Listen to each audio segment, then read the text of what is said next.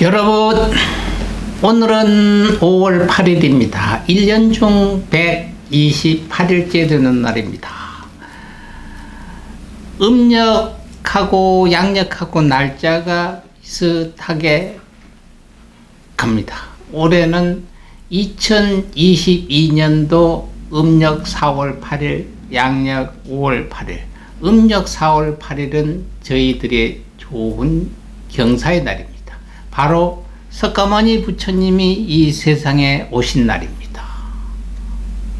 그래서 부처님 오신 날 모든 절에서 오늘은 대법회를 봉행합니다. 부처님은 이 세상에 오시면서 태어나시면서 사방을 걸으시면서 천상천하는 유아도종이다. 오른손 하늘을 향하고 왼손 땅을 향하면서 외쳤다고 합니다. 어떤 분은 뻥이네 맞습니다. 저도 공부하면서 뭐 저희도 스님 되기 전에 기독교에서 천 그 성경을 한 천독은 했다고 봅니다. 마테, 마가, 누가요, 창세기서부터 뭐 그 제목 쪽에 오는 건 알고요.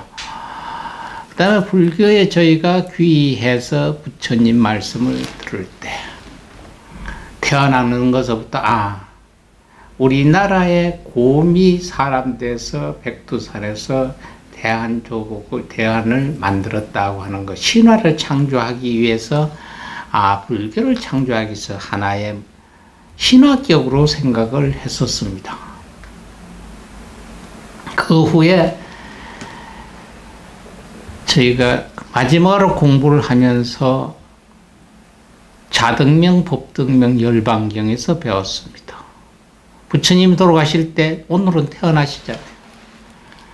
쭉 계시다 가실 때 부처님 돌아가시면 누굴 믿고 삽니까? 네 자신을 믿더라.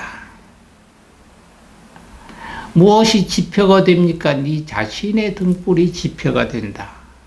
그걸 자등명, 법등명이라고 합니다. 스스로 등불을 밝히고 가라.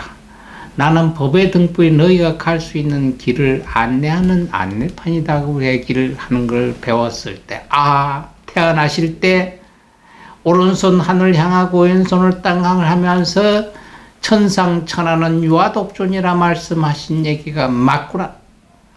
사람은 도저히 개와 돼지처럼 할 수는 없는데 이분은 부처님이기 때문에 몇 번 세상에 오셨다 가셨다 오셨다 가셨다고 하셨던 부처님이시기 때문에 능히 하실 수 있다. 이것은 뻥이 아니다 하는 것을 저희가 알았습니다. 부처님이 이 세상에 오신 게 다른 거 아니에요. 뭐 어렵잖아요. 뭐 아니요. 우리가 살아가는 방법을 가르쳐 주러 오셨습니다. 간단합니다. 여러분 나이팅게일 할 때 촛불 키우죠. 초를 태워서 어두운 곳에 나 스스로를 태워서 어두운 곳에 빛이 되리라 하신 것처럼 너희가 스스로 너희 삶을 태워서 이웃의 빛이 되시라 가르쳤고요. 그 빛이 되자면 이렇게 이렇게 해야 이웃의 빛이 된다. 그 빛이 되도록 네가 하면 너희한테 이러이러한 복이 온다.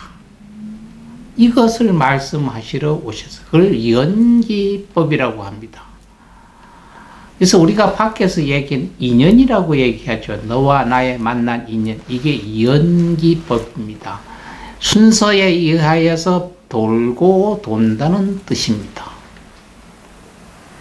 그리고 부처님은 이 세상에 오셨을 때 우리한테 항상 너희가 나한테 의지해라. 내가 너희를 여기서 저까지 데려다 줄 수는 없어도 가다가 힘이 들고 피곤하고 다리 아프면 내가 대신 가줄 수는 없어도 너희가 쉬어갈 수 있는 쉼터는 되리라 하신 게 부처님입니다. 이 두 가지를 우리에게 알려주러 오셨던 부처님입니다. 뭐 종교를 떠나서 저희는 저희가 믿는 불교 부처님한테 귀했고요. 하나님 예수님 믿으시면 또 그쪽 가시면 됩니다. 다 성인입니다. 너희가 잘못하고 잘 너희 욕심 차리고 죄 짓고 뭐 이런 거 하라고 성인들은 예수님이고 부처님이고 가르친 게 아닙니다. 종교도 화합하고 서로 의지해서. 왜? 손이 있잖아요. 손가락이 다 다섯 개가 똑같아 보세요. 이 손, 활동이 되겠습니까? 내 신체의 몸에 한 거에 이걸 다 손이라고 그러잖아요. 그냥 이러면 다 손가락이 되잖아요. 거기 부분적으로 들어가 엄지, 검지, 중지, 약지, 소지 이래잖아요. 들어갈수록 산에 가면 우리가 뭘 합니까? 아이고 숲 이래잖아요. 숲. 숲이 면 그냥 소나무만 잡고 있으면 숲 소리를 안 해요. 밤나무만 잔뜩 있으면 밤나무 단지 과수원 이래지 숲이라고 안 합니다. 밤나무, 소나무, 뭐, 그, 어떤 뭐 낙엽성 벌, 오가지 나무란 나무 다 있고요. 또 바닥엔 또 풀도 있습니다. 풀, 나무, 서로 어울려서 한 무리를 이루는 걸 우리가 숲이라고 합니다. 그건 큰 무리잖아요. 그렇듯이 이 세상에는 하나의 종교만 가지고 이게 일률적이라고 주장하는 종교도 있습니다만 그건 잘못이 아니나 이렇게 봅니다. 불교의 부처님 말씀은 그 얘기를 안 합니다. 자비라고 얘기를 합니다. 내가 사랑을 베풀죠. 사랑만 베풀고 즐거워서는 안 된다는 거죠. 슬픔도 나누어 갖고 사랑도 나누어 가지라는 이야기입니다. 그래서 자비입니다. 오늘 여러분들하고 5월 아, 8일입니다만 음력 4월 8일하고 일치가 되기 때문에 불교에 한 말씀 드렸습니다. 사건을 한번 보겠습니다. 1980년도 80년에 세계보건기구가 천년도 박멸을 선언했습니다. 천년도 마마병이라고 요사이 젊은이들 이 1980년도니까 얼마 이제 80, 90년, 2000년, 42년이 벌써 됐네요. 그러면 50살, 50, 45세 정도 되신 분들은 천년도에 대해서 잘 모르겠네요. 저희가 어렸을 때는 이게 마마병이라고 그랬는데 예를 요사이는 1년에 2천년도로 엄청 많이 죽었습니다. 그래서 살아남은 얼굴이가 콤보처럼, 콤, 그, 그 걸 콤보라고 그럽니다. 얼굴에 빡빡빡 구멍이 이렇게 나 있는 거. 엄청 옛날에는 저희, 저희 있을 때는 많았습니다. 그게 전 세계에 지금의 코로나보다가 아마 더 심했죠. 지금 코로나보다. 이게 전 세계에 어느 날 싹 없어져 먹어요. 싹. 전 세계에서. 그래서 1980년도 세계보건기구에서 천년도가 지구상에는 없어졌다. 이렇게 선언을 했습니다. 그리고 그 천년, 그러다 보니까 천년도에 있는 박테리아 남아있는 균이 없어서 그걸 연구를 더 못한답니다. 그래서 천년도가 돼그 발견이 되면은 세계보건기구에서 2000년대 예인가 5억인가를 그 연구비로 준다는 이야기도 있었습니다. 지금은 없습니다. 지금 여러분들 고생하고 있는 전 세계가 힘들어하고 있는 지금 코로나 19가 언젠가 천년도처럼 없어지리라고 봅니다. 1983년도 여러분들이 좋아하시는 K리그 전신인 슈퍼리그가 출범을 했습니다. 기념일로 보면 여러분 오늘 5월 8일 어버이날입니다. 어버이 하면 아버지, 어머니가 엄쳐서 어버이날입니다. 미국은 어버이날이 없습니다. 어머니날, 아버지날이 따로따로 있습니다. 그러니까 우리나라는 5월 8일 이렇게 정해 있습니다만 미국은 5월 둘째 주 일요일. 올해는 똑같네요. 그러니까 매년 5월 둘째 주 일요일 Mother's Day 어머니 날이라고 합니다. 그 올해는 동일이 똑같이 되겠죠. 그러면 미국은 아버지 날에 따로 있습니다. 아버지 날은 Father's Day. 6월, 그러니까 5월, 한 달 뒤죠. 5월 둘째 주는 Mother's Day, 6월 셋째 주 일요일은 Father's Day입니다. 근데 Mother's Day는 여행도 가고 그 가서 어머니들 모시고 꽃도 사드리고 선물도 주고 야단났습니다. 근데 아버지 Father's Day는 이름은 있는데 이름은 있는데 Mother's Day 절반도 안 되더라고요. 저희가 있어 보니까. 이 Mother's Day가 있도록 만들었던 여인이 있습니다.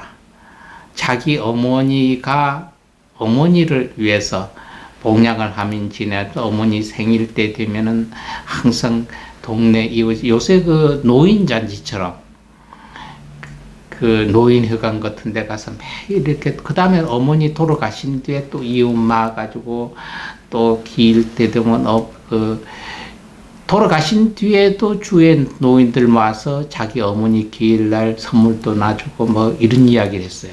그러니 이게 점점 점점 회원이 크니까 자기보다가 도 이웃 사람도 나도 좋다 나도 좋다 이렇게 이야기를 해서 정부에다 막 해서 어머니 날을 만들자 어머니 날을 만들자 이래가지고 정부에서 어머니 날을 만들 었습니다. 그러니까 미국 5월 둘째 주 일요일은 Mother's Day라 이거 만들고 한 10여 년 후에 그 여인이 반대 운동을 했습니다. Mother's Day 없애자. 자기가 한 20여 년을 Mother's Day 만들어 했다가 만 정부에서 만든 뒤에 한 10여 년 후에 이걸 없애자는 캠페인을 했습니다. 왜? 순수하게 어머니를 위해야 되는데 어머니를 그래서 어머니를 위해서 어, 다 오픈에 머더스데이 이걸 해야지 해서 뭘 집에서 수도 놓고 바느질도 하고 뭐도 만들고 정석껏 만들어야 되는데 이게 산업화가 됐다는 거예요. 산업화가. 자기 정성이 아니고 뭐를 꽃도 이렇게 꽃다발도 만들고 케이크도 만들고 또 선물도 상업하는 사람들이 만들어 놓으니까 그 자식들이 그냥 돈만 주고 사가지고 성의 없이 무성의하게 돼서 그 장사하는 사람, 사업하는 사람들한테만 돈 버는 날이 됐다는 거예요. 그 자기 의다고 틀리니까 이거 취소시키자고 또 반대 운동을 엄청 했답니다. 우리나라는 어버이날, 뭐 엄마, 아버지 날을 그냥 옛날에 그전에는 아버지, 아버지 날, 어머니 날 있었습니다. 있었는데 그것을 어버이 이래가지고 한 군데다가 탁 엎쳐가지고 5월 8일로 정했습니다. 그래서 일요일이 아니고 평, 뭐 과일도 되고 수요일도 되는 날이 어버이날입니다. 여러분들도 어버이날 오늘 카네이션 하나씩 달고요. 이렇게 보면. 그래서 어, 어버이 나실 때 괴로움 어머니 앞에 가서 나 실제 괴로움 다 잊으시고 기르실제 밤낮으로 애쓰신 이 노래도 한번 뭐저 부끄럽더라 부끄럽게 뭐 있습니까? 엄마 아버지인데. 근데 요새는 이게 어버이날 노래가 어, 다른 노래가 있더라. 제가 또 어버이날 노래 하나 만들었습니다 근데 내가 만들어 놓고 내가 못 부르네요. 그래서 미국은 Mother's Day, Father's Day가 있고 한국은 그냥 어버이날 하나만 있다는 말씀을 드립니다. 제2차 세계대전 유럽 전승 기념일이기도 합니다. 유럽에서 제2차 세계대전을 오늘 전승하는 기념일이 되고요. 여러분 적십자 알지 않습니까? 세계 적십자의 날도 오늘입니다. 그리고 동국대학교 개교 기념일도 오늘입니다. 오늘 나신 분을 한번 보겠습니다. 부처님하고 한날 나신 분이 있습니다. 1900, 1864년도 나신 용성 스님이 있습니다. 40년 2월 24일 날 돌아가셨습니다. 3.1운동 당시에 불교계에 큰 역할을 하셨던 분이요. 만해 스님보다는 10여 살 우입니다. 선배인데 만해 스님의 권유로 3.1운동에 직접 참여를 하신 분입니다. 3.1운동 당시 용성 스님이 반도기 그 전에 이렇게 그 지도를 반도기를 들고 나가자 하니까 반도기가 아니고 태국기를 들고 나가자고 그 제안했던 스님도 용성 스님이었고요. 또 실질적으로 3일 운동을 주도했다고도 볼 수 있습니다. 1919년 당시 용성 스님은 55세였고 만해 스님은 40세이니까 만해 한용운 스님보다가 15살이 우였습니다. 용성 스님은 근세 한국 불교의 현대화와 대중화에 앞장섰던 큰 스님이고요. 일제의 전통 불교 주기에 맞서 항일 불교 운동을 일으켰고요. 한문 경전을 우리말로 번역하고 어린이들을 위한 참불가를 보급하는 등 포교하는 데도 큰 업적을 남겼었던 분입니다. 3.1운동 당시의 비화가 있습니다. 3.1운동 당시에 파고다공원에는 본인들이 못 나가고 3.1운동 당시에 그 탁골공원에 못 가고 그 인근 그 인사동에 태화관이라는 데서 33인이 모여서 독립선언문을 낭독하고 헤어지려고 해서 거기서 낭독을 했습니다. 그 독립선언을 낭독해버리고 독립이 전국적으로 불, 하고 자기 그 모여 33인이 모였잖아요. 그 태화관에 모였을 때 기생들을 하면 시켰죠. 여기 이 스님 이 사람들이 이를 모르면 그 두루마을 옛날엔 다 입었어요. 두루마을 벗어서 걸어놓고 또 신발을 벗어놓으니까 기생들을 시켜서 저거 다 갖다 감춰라. 이렇게 용성 스님이 얘기했다. 그리고 제자 동년 스님을 시켜서 어, 우리가 독립선언문을 낭독을 하면은 네가 바로 총독부에다 전화를 걸어가지고 내가 어, 바로 태화관 주인인데 여기 33인이 지금 독립선언문을 낭독하니 좀 붙잡아 가십시오. 이렇게 네가 신고를 좀 해라. 이랬답니다. 아 그러면 그 배신한 거 아닙니까? 우리가 봤을 때 배신하는 거잖아요. 아주 어제 쪽으로 33인, 그때 33인이 다 못 오시고 28명이 오셨는데 기생들 시켜서 두루막 다 감춰버리고 신발 다 감춰버리고 제자한테 우리가 독립선언문을 낭독을 하면 너는 총독부에다 바로 전화를 해가지고 내가 여기 태화관 주인인데 여기서 33인이 모여서 독립선언문을 지금 낭독하니까 여기 와서 붙잡아 가십시오. 신고를 해라. 이래가지고 그걸 제자가 그 동현 스님이 그렇게 총독부에 전화해서 총독부에서 바로 와서 독립선문 선언문 33인 딱 끝나니까 밖에 그 경찰이 와가지고 33인을 다 붙잡아 갔답니다. 그냥 33인이 그 그럼 어떻게 보면 스님이 그 저기 저 배신한 거 아니냐? 아니에요. 33인이 거기서 독립선언만 하고 혹 막 도망을 가서 헤어져 버려요. 그럼 이슈가 안 돼. 이슈가 안 되고 33일을 붙잡았잖아요. 그럼 거기 가서 고문하고 뭐 야단할 거 아닙니까? 이러면 이 밖에서 야, 저기 그 이슈가 되잖아요. 크게.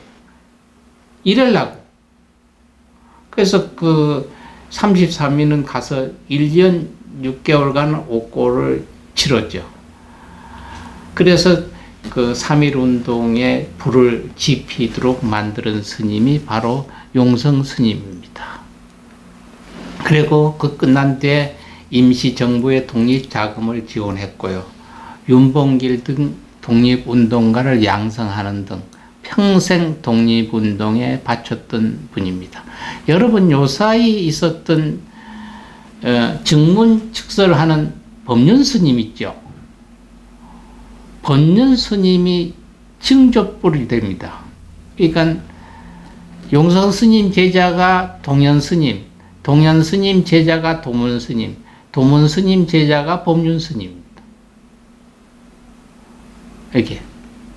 그 지금 용성 그 지금 현재 증문적설을 하시는 법륜 스님이 증, 그, 그 용성 스님이 증조불이 되고 또 용성 스님한테는 법륜 스님이 증손자가 된다고 보시면 되겠습니다. 그 용성 스님 제자는 동현 스님이고 동원 스님은 여기 그 강남의 그, 그 대원사인가요? 여기에 주석해진 저기 회주 스님 그 세주 스님 제자가 지금 법륜 스님 증문즉설을 하시는 스님입니다. 아주 가문이 대단하십니다. 1900, 1890년도 고화 송진우 선생 송진우 하시면 여러분 이미 뭐 현대 역사상으로 많이 아실 겁니다. 독립운동가고 정치인입니다. 그리고 여러분, 여러분들이 잘 아는 배우, 1937년도 오늘 나셨다가 2018년 조금 전에 갔던 엄앵란, 엄앵란 씨의 서방님, 신성일 씨. 그러니까 성이 강신영이죠. 강신택의 강신성일로 나중에 이름을 바꿨습니다. 그래서 국회의원 또 하셨고요.